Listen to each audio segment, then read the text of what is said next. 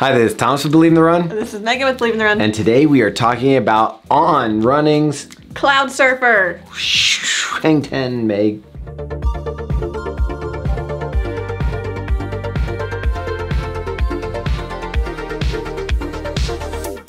We are talking about the on Cloudsurfer and we're really excited. The real news is everything that's below this upper, but we like to start the upper and work our way down. First off, what kind of shoe is this? So this is a daily trainer from On. I've actually been opting out of testing On shoes the past couple years just because I didn't love the Speedboard in all of these shoes. It was really firm, was not for me. But so this is really exciting because that's no longer here. But we'll get into that in a second. This upper is also, I feel like, quite a departure from On's traditional shoes. Maybe it's got more cushioning, yeah. but it looks, it has the On look. Yes, aesthetics are on point as they always are with On, but there is just a lot more padding and this feels more like a traditional daily trainer. Yeah, so let's start. We've got a two ply engineered mesh upper. You got that puffy tongue that Megan's talking about. I kind of love this little stay over the top of the laces with these like stylized text on it. So I'm digging all that. You've got some of those on features that you expect, like the sewn pieces here that hold your laces in over the throat. The vamp is pretty open and airy. Comfort-wise, the heel counter, heel collar, tongue combo really does give you that plush step-in feel. Yeah, the step-in feel is great and out on the roads it feels really great as well. So I felt like this was true to size and it really accommodated my wide foot well. I know you have a narrow foot, so how did you feel this upper fit? I did feel it was a little roomy. I didn't hate it, but it was a little roomy on my on my foot. Yeah, so I really liked that. I definitely think if you have a higher volume foot, a little wider, you're definitely gonna like this fit. It probably will change the way you feel about how the rest of the shoe works together. But for me, it worked okay. It was fine. I, I would love it a little bit tighter, but I'm not gonna take off any points for that. It fit well. I didn't get any hot spots. There was no heel lift fit true to size. Overall, I think it's really nice looking. So I'm gonna give it a thumbs up on the upper. Honestly, it might be one of my favorite uppers right now of all the shoes we're testing. Whoa, so that's something. A plus for there. Underneath the foot though, that's where all this all jazzy, news. fancy technology is happening. First thing, you already mentioned it, they got rid of the Speedboard. I did not like the Speedboard. I felt like it was always harsh under the foot. It wasn't something that made me feel like it was propelling me forward, but that's how they had to attach the CloudTec on there. And the CloudTec was a proprietary technology that you're gonna see in shoes like previous shoes like Cloudsurfers before. This is like the sixth or seventh version. Seventh. This is the seventh version, and they're kind of rebooting it. It's just the Cloudsurfer again. Yeah, we're starting over, which honestly, pretty good this thing. Is, yeah, this is the time to do it.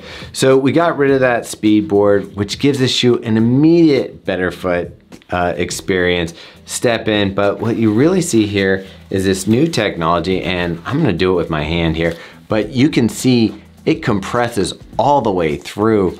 These little things kind of act like coils in a spring mattress and kind of go forward. What do they call this, Meg? Yeah, so this is the CloudTec Phase. They talked about how they did a bunch of research using AI and then paired that with runners, foot strike, and there's a whole bunch of jargon listed about what actually went on here. But I just have to say it's such a vast improvement from the CloudTec technology that we're used to. And this actually does finally catch up with the name cloud. It does. Like you do feel this is soft, it collapses. You can see when I was showing you with my hand there that the midsole collapses and as you go through the stride, and it's a bit of a rocker shape, as you go through you feel it compress under your foot and then release back up. I wouldn't call it springy, but definitely like cushioned and it, I, I really did like the way that it the sensation of going through the shoe was something different than I'd experienced before. I did think it was pretty responsive. It's funny because I've been craving these softer cushioned shoes and that's exactly what we have here. But I don't know if it's the airy formulation here or if it's the stack is maybe just a little bit lower than what I'm used to.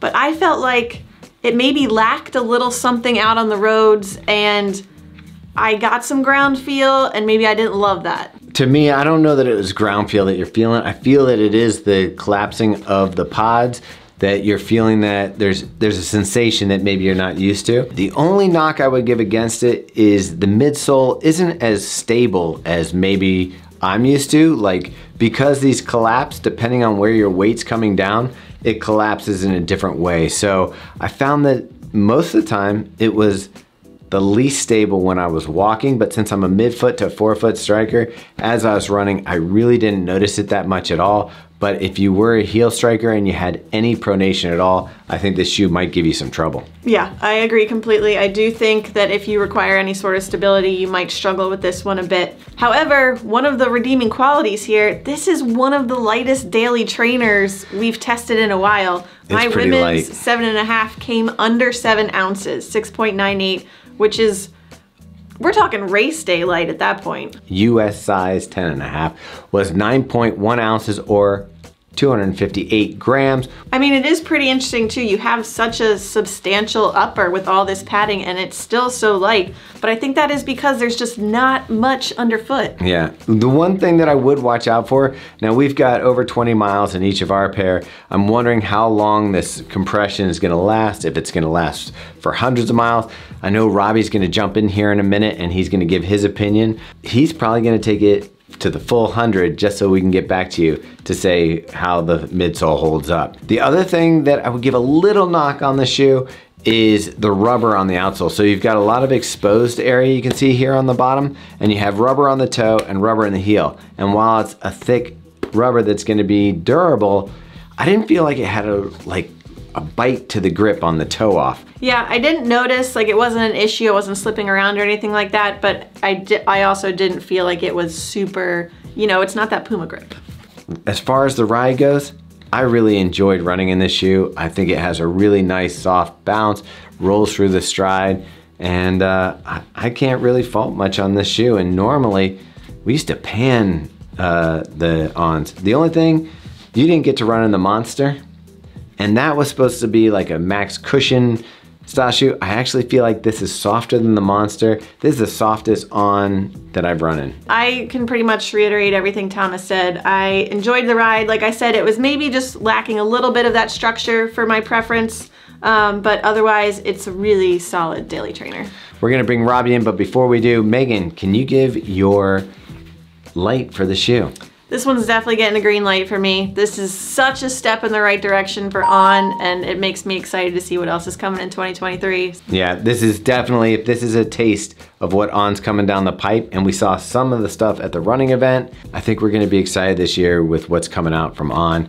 All right, so let's bring Robbie in. Get out of here, Meg. All right, so Robbie, Yeah. give a little back history on how we dumped ons on you to review because the rest of us didn't want to. That's a good way of putting it. yeah, when I first started here, I became the de facto on reviewer, and much to my, I guess, surprise at the moment, uh, despite the marketing behind the shoe, none of the shoes felt like running on clouds to me. I always felt like the construction and materials were nice, super, super high quality. Swiss. Um, yeah, and they looked good, but just underfoot, man, it was always a struggle. And of course, like with the Cloudmonster, it seemed like things were changing for the good. And I always said, we, always said, if they got rid of that Speedboard, which we already covered in here, man, I feel like they could do something. And good news, they, this is a game changer, I feel like. And they're in heading in the right direction for sure. right before this interview, I saw you out on the roads today. You're doing what, 13 miles? Did I look good? You always look good. It's the mustache. It's just like a wind spoiler for your face. I, I was like, wow, where'd that guy come from? Yeah, I just keep loving this shoe. It's really, I don't know what it is. It's I think it's partly the rocker, partly this like soft feeling, but also you still feel the ground kind of. See, Megan said that. I don't know about the ground. I'm not feeling the ground. Maybe not the ground, but just like the more of The a cl- like a sensation? yeah, like an energy return, like where you can kind of like feel it and then come back. Okay. I thought the upper was just so comfortable and you got a good lockdown, even though the lacing system's a little bit weird. Okay, so Meg asked me about the width of my foot because she Uh-huh. has a wider foot and she thought it felt great. I, I could go a little more narrow, but Yeah, maybe a little bit more. I think I could agree with you on that. It does feel like a little bit of a wider shoe. And then on the run, I just felt like it felt like I wanted to go a lot faster than I was expecting. And I ended up doing that and just kind of I know we had like a really nice some really nice weather days where you kind of want to pick it up and things like that. Pleasantly surprised. Definitely my favorite on shoe so far. So Robbie, we got Megan's light choice for the shoe. What's it gonna be I for mean, you? Obviously, it's going to be a green. Brandon's playing Pokemon Go on his phone. Work. Oh, okay. Yeah. I Uh, Work collecting Pokemon. yeah. um, Do you get Snorlax on there? I, I mean, right now this would be in my top the top. top. Wow, you got a three, rock in it or something. Three to five. I did actually get a. Oh, I do have a rock right in there. I got a rock in it the one time, like right between clip clopping away. Hmm. Yeah, I'm, I've been fine. I really like this shoe. Uh, Did you guys say the perceived stack height on this yet? No, we haven't. Why don't you Yeah, get it? so with my very scientific measurement tool, it's a we, I measured like 35 millimeters in the heel, 27 in the forefoot. So it's, I mean, give or take a millimeter here or there, eight millimeter drop, Hmm. but it sounds about right. I think uh, most of the on shoes come in that eight millimeter. And we didn't mention, we talked about the CloudTec phase that's in here. We never mentioned the foam is the Helion foam, which is a pretty nice foam. I, I'm thinking it's EVA based, but it feels airy and bouncy and it's a fun shoe. I, I can't believe how little it weighs. I would have guessed a lot more. Right. But yeah. All right, so that wraps it up. I know, uh, anything else you want to tell people? no, I think that's it. All right. Just, uh, You know what to do. Like the channel and all that stuff. Subscribe. know, we're, very passionate about it. Yeah. Like and subscribe. Make sure you follow us on all our social social media. Listen to our podcast, The Drop, Feel for the Soul. All the links are in the description. What about checking out the new website? Check out our new website. Yeah, I know you mentioned it already, but there's a lot of good stuff on there. We'll have some nice photos, some nice review format. And the best way to always check up on us is the weekly email. Mm-hmm. And I'm telling you, just for Robbie's little piece at the bottom, it's worth it. There's a little editorial Oh, each wow. week. Thank you. Yeah, it's really good. Yeah, I had a night. What did you think of my John G and Wazell? I loved it. I, I mean, it truly captured the essence yeah, of of the, of the lud- ludicrous partnership. Anyway, that's it. And right. wham.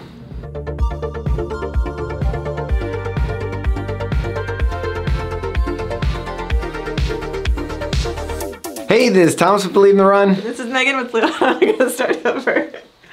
Oh, let's crack it up. Yeah, and Megan's laughing because she hit, hits me when we're alone. Can't say that. I'm gonna have to keep that. yeah, you keep that. Um, See, it even collects things. I for do have a shelf at home of all the things I found on my run. No, that's cool. I'm sure Kimmy loves it. Yeah, it's in the basement. This is and this is my uh, this is my mantra to trash. I feel like My this is gonna be the outtake of it. Is Robbie having a shelf of What word was I looking for? What's a collection? Not a curio cabinet, but